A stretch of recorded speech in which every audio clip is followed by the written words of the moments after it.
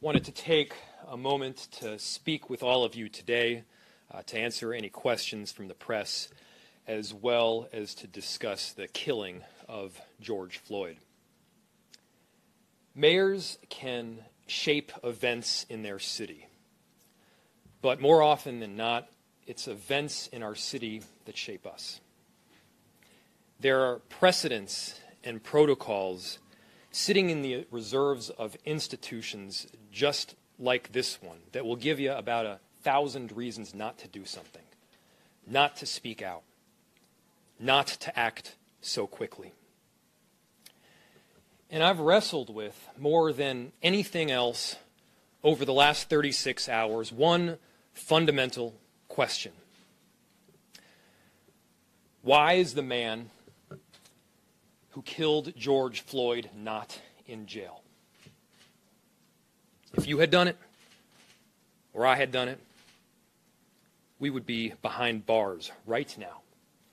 And I cannot come up with a good answer to that question.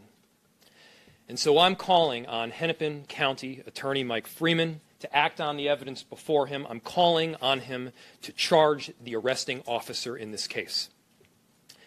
We cannot turn a blind eye. It is on us as leaders to see this for what it is and call it what it is. George Floyd deserves justice.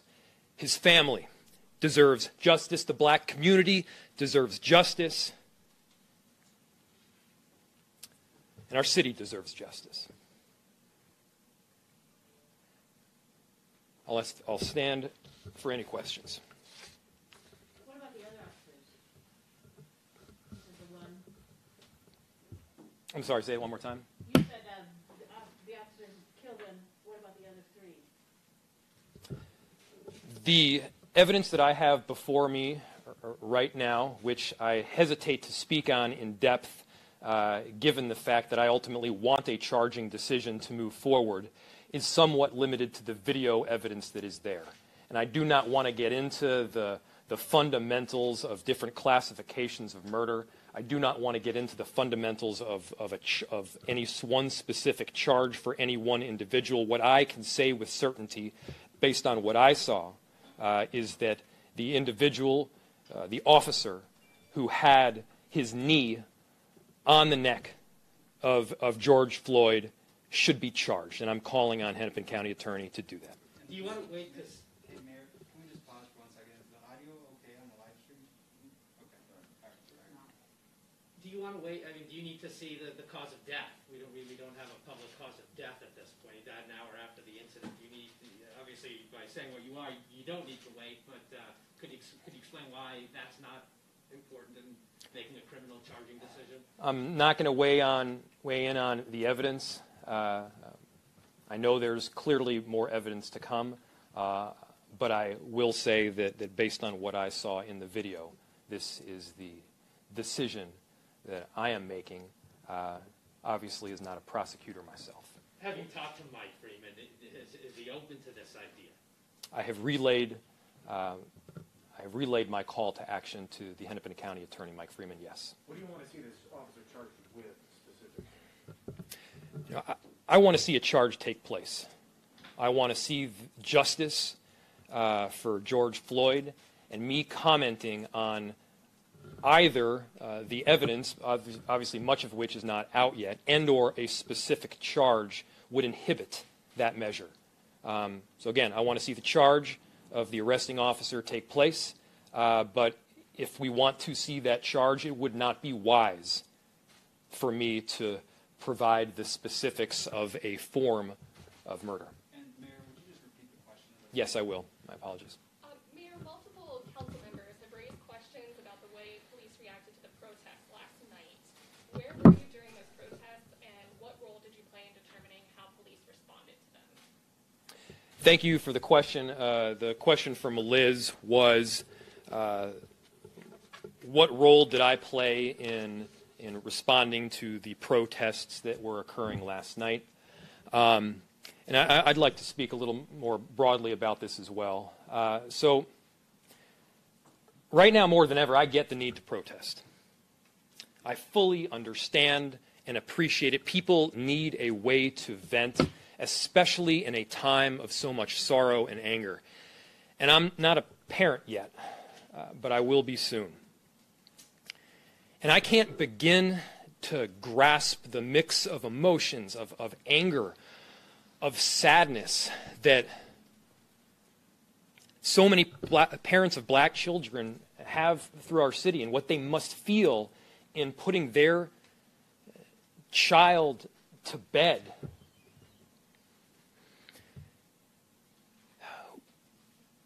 Without knowing what cards they will be dealt and not knowing how their safety might but be put at risk. And nobody out there will fight harder for the First Amendment protections and freedom of speech than I will. Nobody will fight harder for those rights to protest than I will. Uh, but those rights, they must stop when others' public safety are put at risk. Uh, the cars and the buildings uh, that were broken or broken into in some form had live guns and ammo in them. And I spoke with our chief Arradondo uh, last night, who is an exceptional leader in our black community and known as an exceptional chief nationwide. And he told me that he could not run the risk of one tragedy leading to another. Our chief made the decision, and I support our chief. I trust his judgment. And there's, there's an inherent tension, there's an inherent problem in this world of, of sound bites where those who are protesting peacefully get lumped in with those that are not. Where those who are policing compassionately get lumped in with those who are not. And by the way, I want to commend the 99% of protesters that were there last night doing so in a peaceful manner. And we need to be straightforward. We need to be straightforward and honest with people 100% of the time. We need to be continue we need to continue to be calling on our on our better angels, especially during this time where where one crisis is sandwiched in on another. I'm committed to doing that. Next question. No mayor has ever publicly called on a prosecutor to bring criminal charges against a police officer, at least here in Minneapolis. What went through your mind? What uh, went into this decision to come up here and do what doing today?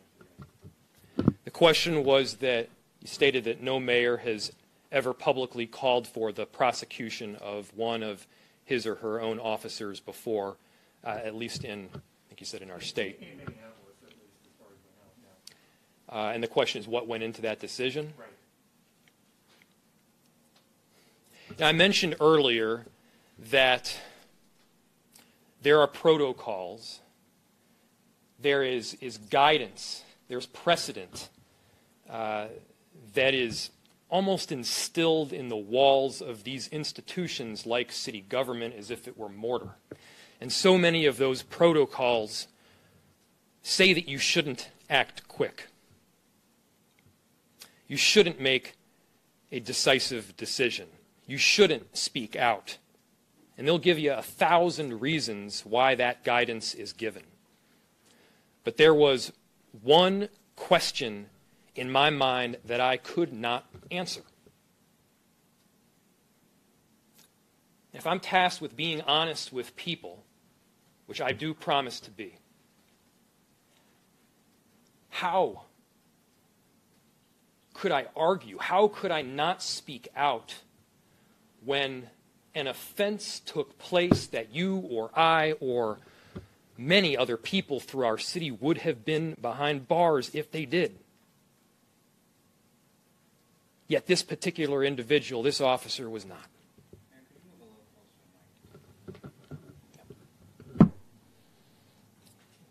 I could not answer that question, and because of that, I felt I had to speak out. And by the way, black men have been put in prison before for far, far less. early police uh, uh, reports from the scene described uh, um, uh, some fighting, uh, you know, that he uh, resisted arrest. Have you seen any evidence that that has been borne out? Obviously, the you know we've seen the videos from surveillance cameras and um, uh, um, Daniela Frazier, Darnella Frazier's, but we, we haven't seen anything that would suggest any resistance. Have you seen any at all in any of the evidence you've seen?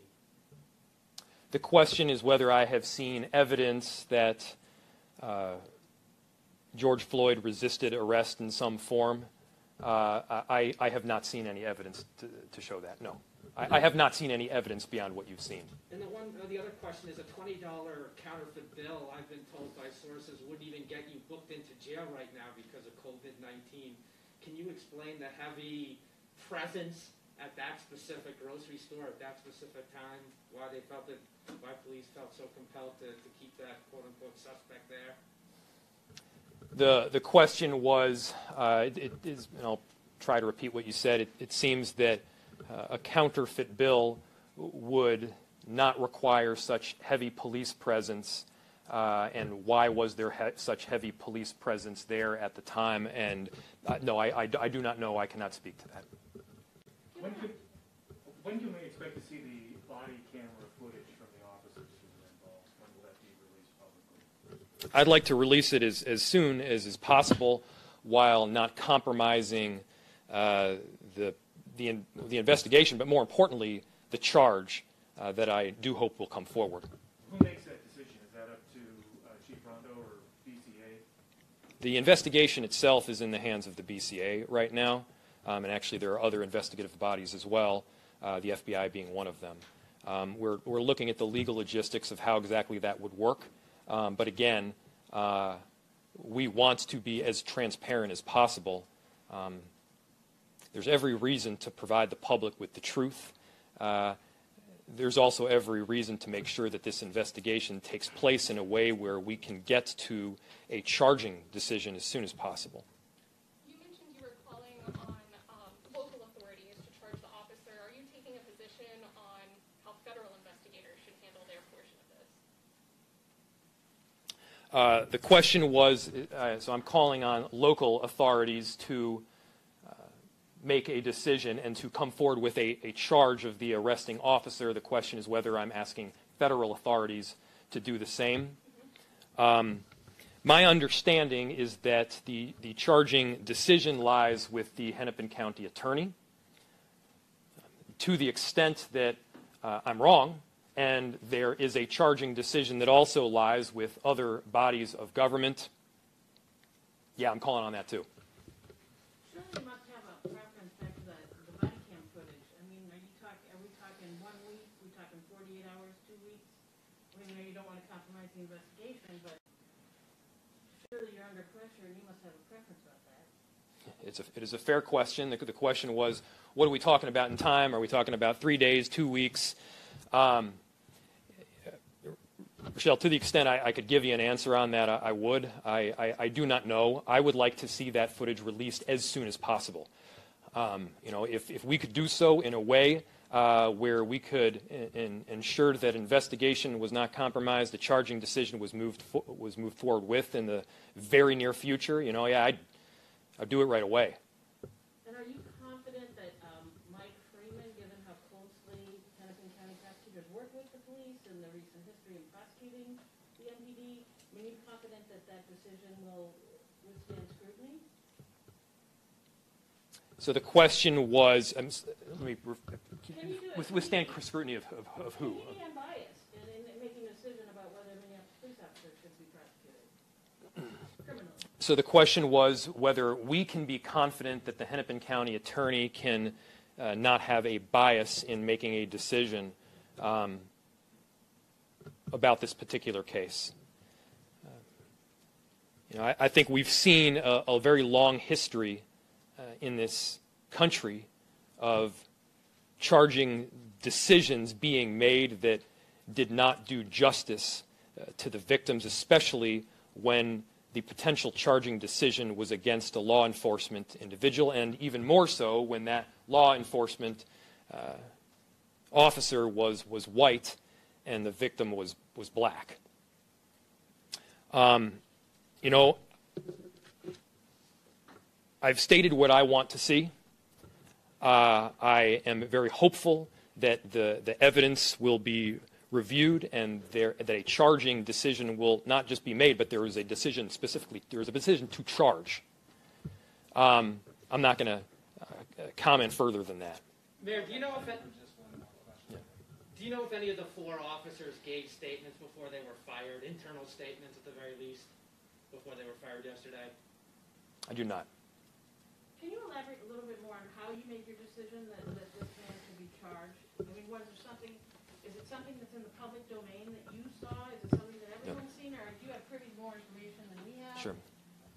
I'll, I'll I'll give it to you straight up. So the question was, um, can I elaborate a little bit more on my belief that the arresting officer should be charged? And yes, we watched for five whole excruciating minutes as a white officer firmly pressed his knee into the neck of an unarmed, handcuffed black man.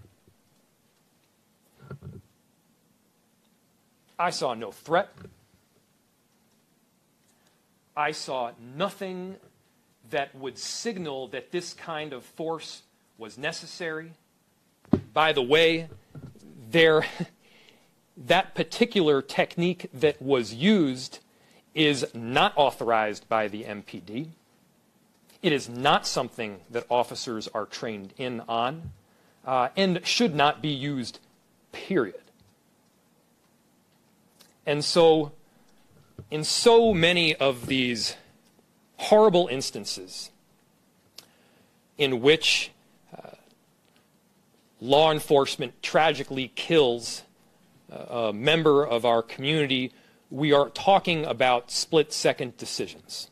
In so many of these instances, we are talking about four or five or six seconds, sometimes less, where a decision was made that tragically killed somebody and, and impacted a whole community. We are not talking about a split second decision that was made incorrectly.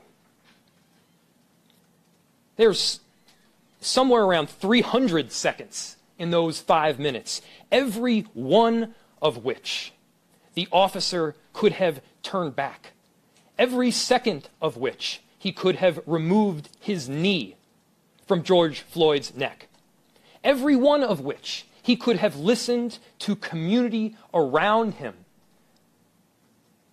clearly saying that he needed to stop. Every one of which you heard George Floyd himself articulating the pain he was feeling, an inability to breathe.